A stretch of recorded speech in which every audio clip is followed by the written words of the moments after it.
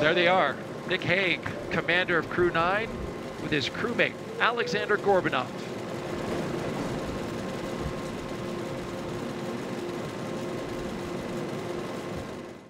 Five, four, three, two, one. Ignition. Engine full power. And liftoff. Uh, Crew 9. Go SpaceX. Go Falcon. Go NASA. Liftoff of Crew 9 now soaring to the International Space Station. Stage 1 Alpha. Stage 1 propulsion is nominal. Copy 1 Alpha.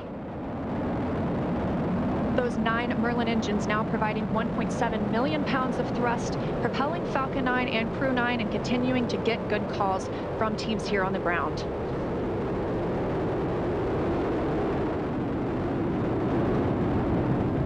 Course, these incredible views mean we are just a little bit past 30 minutes or 30 seconds into our ninth rotational crew mission. Power telemetry nominal. Onboard Dragon and Falcon 9 with good callouts from mission control that everything is looking good. With that, stage one is throttling down to pass through max Q, which is the period of maximum dynamic pressure on Falcon 9 during ascent. Max Q. Confirmation of max Q. You did hear mission control out that we are chilling our... MECO. There's confirmation of MECO. Stage separation confirmed. Stage 2 Alpha. MVAC ignition. Copy 2 Alpha. With that, we have had confirmation of MECO, stage SEP, and the ignition of our MVAC engine on board stage two.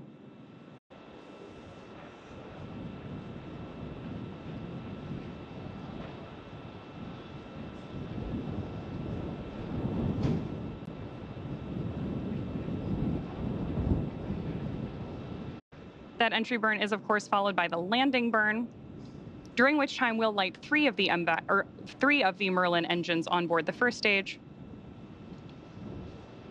And we expect to see that landing burn just about a minute before we expect Dragon to be inserted into orbit.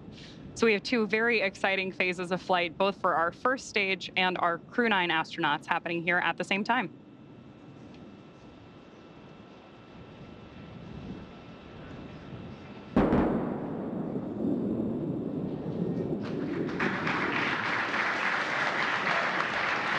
Stage 2 FTS has safed. MVAC shutdown. Confirmation of the Merlin vacuum engine shutting down. Good views there looking up into Dragon's trunk, looking at the heat shield on the bottom of Dragon that Crew 9 will use when it returns home early next year.